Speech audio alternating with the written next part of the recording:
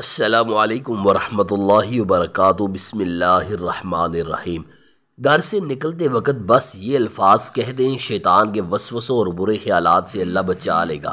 हर किस्म की परेशानी और दुख का बोझ अल्लाह उठा लेगा और ख़तरनाक से ख़तरनाक, बड़े से बड़े दुश्मन से अल्लाह तुमको बचा लेगा इन जैसा कि हदीस मुस्तफ़ा सल्लल्लाहु अलैहि वसल्लम में आता है, रसूलुल्लाह सल्लल्लाहु अलैहि वसल्लम ने बताया कि जब कोई आदमी अपने घर से निकलते हुए ये कहता है, बिस्मिल्लाह तवक्कल तो अल्लाह बिल्ला तो एक फ़रिश्ता उस शख्स को पुकार कर कहता है अल्लाह के बंदे, तुझे राय हक की तरफ़ हिदायत मिल गई।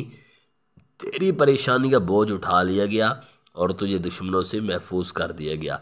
ऐसा कहने पर उस पर मुतन शैतान दूर हट जाता है। और एक दूसरा शैतान उस शैतान से कहता है, तुम इस आदमी को गुमराह कैसे कर सकते हो?